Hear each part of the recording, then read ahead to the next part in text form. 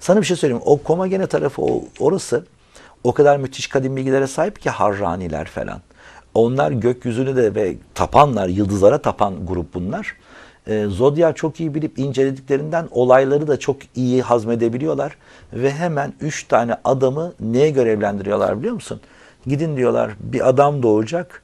Doğmak üzere doğan adam tarihin akışında çok önemli değişiklikler yapacak. Gidin onu kutsayın diyorlar ve hediye götürün anasına babasına. Üç tane adam birisi şeydir esmer vatandaş yani bildiğin böyle Afrikalı gibi siyah. Diğer ikisi de normal Mezopotamya şeyi esmerliği. Bunlar üçü yola çıkıyorlar e, ve vara vara e, öyle bir koordinat biliyorlar ki çocuğun nerede doğduğunu bulabilecek bir kadim bilgiye sahipler. Doğan çocuğun da Hazreti İsa olduğunu bilmiyorlar ama çok önemli bir yıldız çocuk doğuyor. Ve Kral Herod zamanı bu. İsa'nın hmm. doğduğu zaman. Herod'a geliyorlar diyorlar ki biz e, üç şeyiz, müneccimiz ki biz onlara tarihte üç müneccim kral deriz. Üç bilge kral. O yolculuğu yapıp geliyorlar. Herod'a diyorlar ki böyle böyle sizin topraklarınızda biri doğacak. Çok önemli değişiklikler e, onun sayesinde yaşanacak. Krallıklar değişecek. Kendi krallığı kurulacak diyorlar. Nemrut bunu duyuyor. Şey diyor Herod pardon. Yeni krallıklar benim toprağımda doğuyor. Böyle bir adam çıkacak. Bunlar gittikten sonra ona İsa'nın olduğu yere doğru arkasından adamları salıyor ve diyor ki hemen toplanın diyor. 0 3 yaş arası hangi çocuk varsa derhal kelleleri kesin diyor. Çünkü çocuk büyüyünce belki doğmuştur. Bunlar tam hesap edemedi. Doğmuştur. Beni mahveder Garanti alayım diyor. hamile kadınları kesin. Yani çocuk istemiyoruz şu anda. Artık kimse 3 yıl boyunca da hamile kalmayacak. İşte bu e, şeylerin katliamıdır bu çok önemli. Masumlar katliamı diye e, Julio Iglesiaslar pardon Enrico Maciaslar bu konuda şarkıları var 60'larda 70'lerde. E, Hristiyan motifidir bu. Üç müneccim kral da e, böyle gider hediyelerini sunar. Biri altın, biri mür falan böyle. E, İsa'nın doğumuna. Ama o adamların çıkış yeri e, Nemrut tarafıdır. Ve bilgedir. Bunlar çünkü gökyüzünü incelemiş insanlardır. Şimdi ben bugün şeyle e, konuştum. Iris Yücel'le konuştum. Iris Yücel e, ciddi ciddi astrolojiyi adam akıllı inceleyen bir insan. E, çok güzel tespitleri ayrı o bir yana. E, şeyi de inceliyor yani. Kadim bilgilerin bu astrolojik kadim bilgilerin ne şekilde elde edildiğini kökenlerini hissetmeye çalışıyor ve onun yolunda da inceleyen bir insan. Şimdi şöyle bakıyoruz olaya. Bugün geldiğimiz konuda hani astroloji çok ayağa bilerek düşürülmüş durumda. Fala döndü bir ha, kısmı. Fala döndü. Yani işini Ama doğru yapmaya çalışanlar hariç. Isaac fala... Newton gibi dünyanın belki gelmiş geçmiş belki en önemli en büyük bilim adamı Isaac Newton'ın şahsi kütüphanesinde bize 17 tane astroloji kitabı çıkmıştır bakın. Astrolojiden yola çıkarak astronomi hareket etmeye başlamıştır ve bilim olmuştur. Astroloji bilim midir? Değildir. Astroloji bir ilimdir. Astronomi. Bilim değil. Astronomi bilimdir. Peki astroloji uydurulmuş bir şey midir? Asla değildir. Çünkü e, matematikte şey vardır. Bakın e, neydi onun adı? E, orantılar vardır ve bazı söyleyin istatistikler vardır. Hı hı. Yani bir olayların e, 80 kere o olaylar gökteki işaretlerle bunlar olmuşsa bu artık e, orantı olarak e, şeyi geçer. Bunu tesadüflerle açıklayamayacağın hale gelirsin. Ve e, birçok şey uygularsan, yorumları düzgün yaparsan ama dersen, aa işte kova burçları şey yapsın, dikkat etsin bu hafta. E, bu, bu değil. Yani bugünkü bu tarz bu değil. Yani hangi, hangi kova burcu? Şimdi kazılar çok gündemde. İşte Tarsus'tan tut yine Anadolu'da birçok yerde, Mardin'de ve birçok ismi geçmeyen belki gizli e, yapılan kazılarla ilgili. Türkiye özellikle Mezopotamya bu konularda çok çok zengin. Yani yer, altından çıkanlarla da çok zengin. E, dolayısıyla böyle bir gizemli e, tarafı da var. İşin Sadece böyle, Mezopotamya değil ama.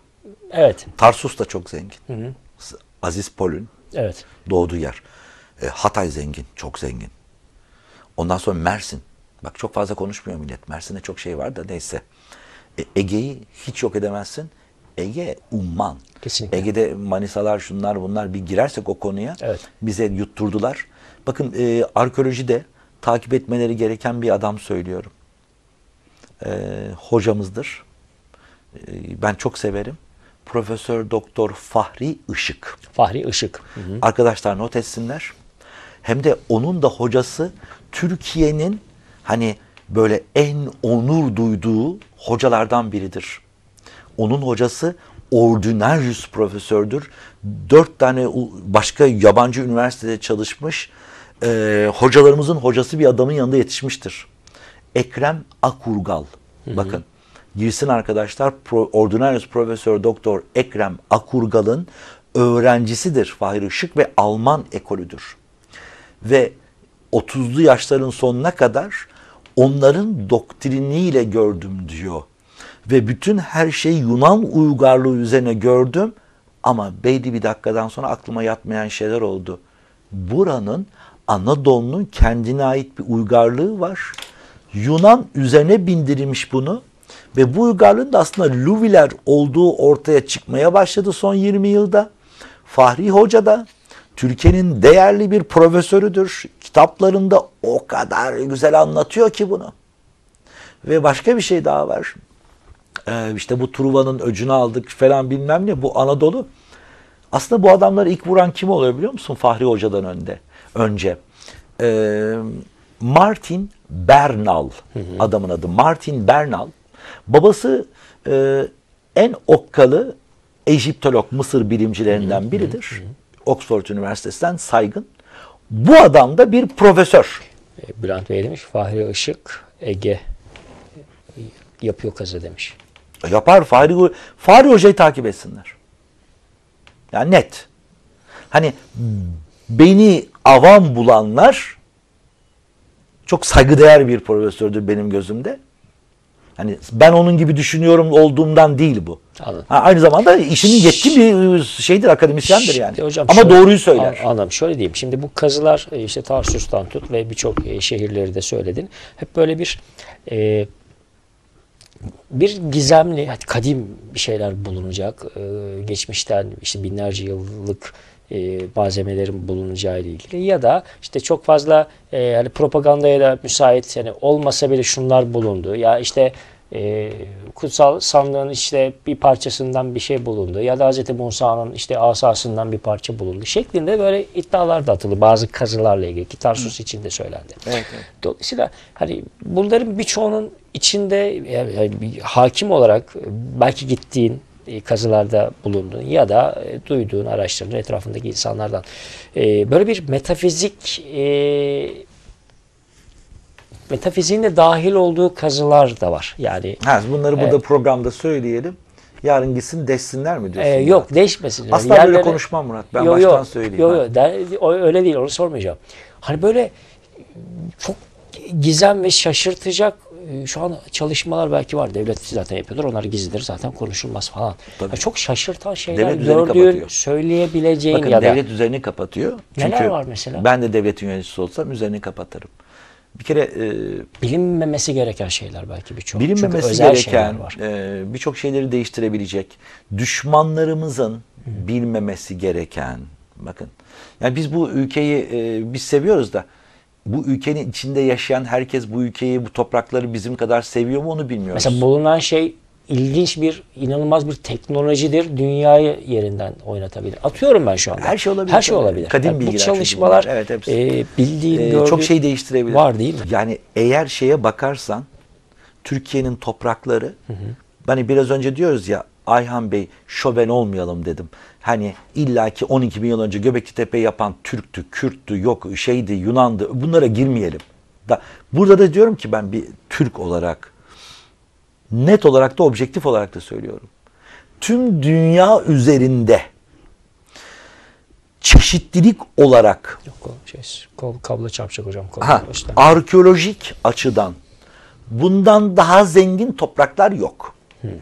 Nasıl diyorsam dünya üzerindeki hemen hemen yemek yiyebileceğiniz en iyi üç noktadan biri Türkiye'dir diyecek kadar böyle rahat konuşuyorsam arkeolojik açıdan çeşitlilik olarak tekrar ediyorum hiçbir yer yok Türkiye kadar zengin. İki, böyle kadim topraklara konmuş insanların olduğu yer e, madenler açısından bu kadar gariban olma ihtimali de yok. Bak bunu da söylüyorum. Başta petrol olmak üzere. Ve hala bilinmeyen şeyler olmak üzere. Bor, toryum. Tabii tabii. Yani bulan işte bak ne oldu kadıncağız. Şimdi e, geçen gün tüylerimi diken diken ettiler ya. Y- iki sene sonra Türkiye e, toryum ve bor e, enerji şeyini açacak dediler. Nasıl dedim? Söylenmiyor dediler. Gizli hazırlanıyor. O kadın da ölmedi dediler. Nasıl? Sen bir insanı saklamak istersen nasıl saklarsın dediler en iyi. Öldü göstererek.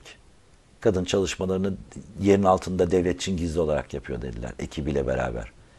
Bu inanılmaz bir bilgi. Bir sevindim. Bir sevindim sorma. Eğer gerçekse böyle bir şey varsa ve Türkiye bunu yaptıysa var ya yani harbiden oturur böyle bir şey dans ederim. Yani biz dünya şampiyon olmuş gibi. ifşa etme de değil mi? bilgiyi. Bilgiyi de ifşa etme şu anda. Ya bu ama ben buna inanmıyorum tabii çünkü bir kaza Peki yaşandı. e, işte bununla bu çalışmalar var zaten aktif devam ediyor ama hani bilgi verilmesi tabii devletin özel çalışmalarıdır. Ama hani çok böyle basına Verilmez yansıyanlar yani. var Halka işte verilmez Tarsus. Marsus falan çok basına yansıdı. Onlar orada. yansıdı, onlar açmadı. Bak yine verilmedi. Yansımasına rağmen. Ama bir de koz olarak kullanırsın. Çünkü e, mesela kilise denen bir kavram var. Sen günahkarsın. Yani doğdun ya. Hani doğduğun için bir kere günahkarsın. Hazreti İsa senin yüzünden acılar çekti diye bir anlatılan bir hikaye var. Teşekkürler. Teşekkür ederim. Buyurun hocam. Şimdi böyle anlatılan bir hikayede Murat bak e, kilise sana orta çağ boyunca şamar üzerine şamar atmış Avrupa'ya. Ve e, Tanrı'nın evi demiş. Bak Tanrı'nın evi ama nasıl bir şeyse bu evin hep bir para ihtiyacı var. Vergileri toplayacak, ha- halkı kırbaçlayacak, aforoz edecek bilmem ne. Bir kurum var yani. Avrupa artık humanite, rönesans onlardan sonra yavaş yavaş yenmiş bunu ama bir illallah etmiş orta çağda. Şimdi bu kilisenin dayandığı doktrinler var ve yine onlara çok bağlı bir insan grupları var. Yani bir kere bugün Hristiyanlık Hazreti İsa'nın getirdiği bir din değil. Hazreti İsa Hazreti Musa'nın şeriatını hatırlatmaya geldim dedi. Bugünkü Hristiyanlık ben bunu herkese de bütün Hristiyanlarla da tartışırım. Museviliğin devamı. Musevi'nin devamı değil. Bakın o gerçek Hristiyanlık. Nasturilerin ben şimdi başka bir şey söylüyorum size. Bugünkü Hristiyanlık Aziz Paulus dediğimiz adamın Tarsuslu adamın yaptığı Hristiyanlık üzerine kurulmuş biraz biraz değiştirerek kilise tarafından bir şey haline gelmiş. Şimdi sen senin topraklarında Sonra da paganlık eklenince bambaşka bir dünyaya dönmüş. e tabii çünkü paganlar da görüyor diyor ki tarihleri marihleri değiştirelim. Niye? E şimdi Hazreti İsa'nın öldüğü tarihi öyle bir anlatalım ki millete ya da doğduğu tarihi e bizim paganist inancımızdaki tarihle örtüştürelim diyor. Hazreti İsa aslında 24 tarihleri. 24 Aralık'ta falan doğmuyor. 6 Ortaya Ocak mı, çıktı. 24 Aralık Adrian mı, Gilbert 25. araştırmacı yazsın arkadaşlar. Kitabı zor bulurlar ama Adrian Gilbert Ne çıktı tarih? e, 16 Temmuz. Hocam bununla ilgili bir şey söyleyeceğim. Ben yayınlarda söylüyorum Hazreti İsa konusuyla ilgili program yaptığımızda falan. Ee, Kur'an temelli bir kaynak, e, ayetten kaynak göstererek söylüyorum. Hazreti Meryem'le ilgili doğumuyla ilgili ayette şöyle bir ibare var. Artık doğum olacak. Yani sancıları var artık. Doğum. Bu direkt Kur'an'da geçiyor.